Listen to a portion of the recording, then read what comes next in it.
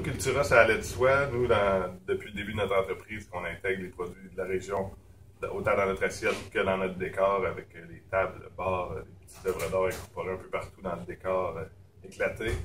Donc, on était bien content de voir le mouvement naître, de voir qu'est-ce que ça pouvait apporter pour la région, une fierté aux habitants, autant qu'un accueil plus chaleureux, d'embellir notre place pour les touristes qui viennent nous voir. Donc, on croit que Cultura n'a que du bien apporter à la région.